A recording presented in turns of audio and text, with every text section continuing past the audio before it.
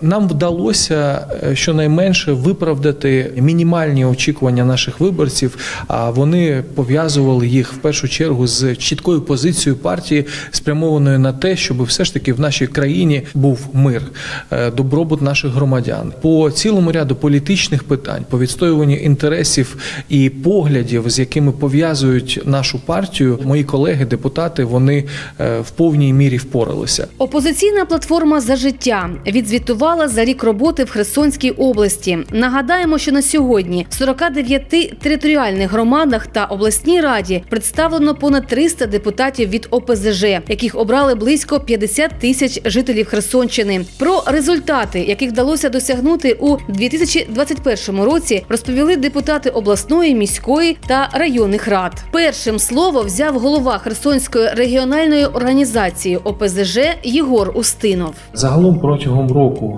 була надана фінансова підтримка і допомога з за рахунок коштів обласного бюджету, але по зверненням від громадян, від е, мешканців Херсонської області до наших депутатів більше як 120 мешканцям Херсонської області. Я маю на увазі матеріальна конкретна підтримка. Разом з тим нам вдалося реалізувати цілий ряд проєктів по ремонту реконструкції доріг у Верхньоаргачівському районі ремонту та реконструкції закладів освіти, закладів охорони здоров'я. Такі заходи у нас відбувалися у Асканії Новій, в інших населених пунктів. У Новотроїцькій громаді ми почали е, серйозну реалізацію проекту по створенню системи каналізування цього населеного пункту, яка там не існувала протягом всього періоду його існування. Депутат Херсонської міської ради Юрій Стельмашенко розповідає, за поточний рік від ОПЗЖ було направлено більше 300 звернень на ім'я міського голови, частина з яких вже задоволена. То, что мы реализовали вместе с нашими депутатами, это прежде всего улучшение инфраструктуры города. Да, это мы говорим и про те дороги, которые построены, отремонтированы при участии наших там депутатов и при поддержке их в зале. Э, Это наши спортивные изменения. Площадки на 40 лет, она реализована за деньги плательщиков налогов, но мы как фракция это тоже поддержим. Да, все позитивные изменения, которые происходят в городе, абсолютно все. Они были проголосованы депутатами нашей фракции, и мы представлены во всех депутатских комиссиях и везде держим руку на пульсе. Багато уваги приділяли і роботі на округах. Депутат міськради Олена Мазур ділиться у мешканців приватного сектору та багатоповерхівок. Проблем вистачає, та вони різні. Тож і підхід до їх вирішення має бути індивідуальним. Так получилось, что у меня первый округ, и 90% этого округа – это частный сектор. В основном все обращения моего избирателя – Это или отсутствие освещения в частном секторе, или отсутствие дорог. Я планирую в следующем году написать программу по асфальтированию частного сектора и доделать уличное освещение. В этом году выделены деньги на освещение Антоновки. В этом году мы доделали обещанные данные избирателям 31, 32, 33 Восточную.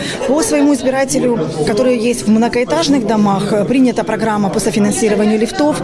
Мои избиратели участвуют в программе финансирования по текущему ремонту. Роботу комунальних підприємств аналізувала депутат міськради Олена Ротова, адже від їх ефективності залежать тарифи на тепло та воду в Херсоні. Мы провели очень серьезные исследования по работе наших коммунальных предприятий и пришли к выводу, что есть, да, успешные, есть менее успешные, есть предприятия банкроты, и в перспективе у нас очень много задач, которые ну, предстоит еще решить для того, чтобы улучшить ситуацию.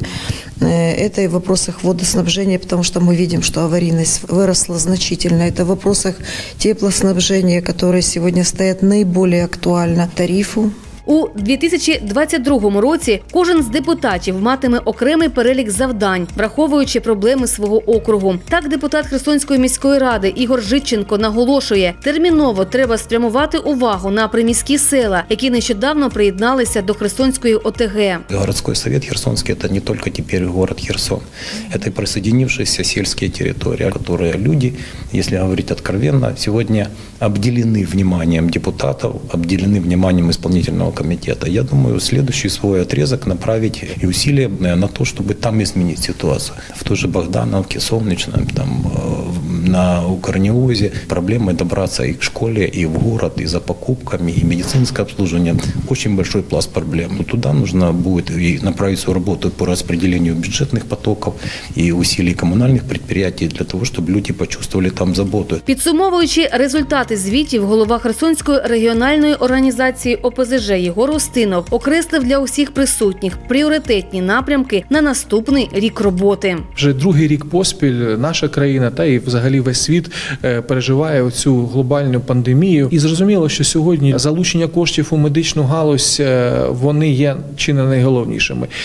Разом з тим, жодна нація не має е, свого майбутнього без е, освіти, і ми будемо робити все можливе для того, щоб жодний заклад загальної середньої освіти, дошкільної освіти чи позашкільної освіти в наступному році, незважаючи на складні бюджети, не був закритий. Впевнений, що через рік, коли ми з вами зустрінемося, я буду говорити про те, що ми зробили все від нас залежне для того, щоб виправдати ту високу довіру виборців, мешканців Херсонської області, яку вони надали представникам нашої політичної партії Опозиційна платформа за життя.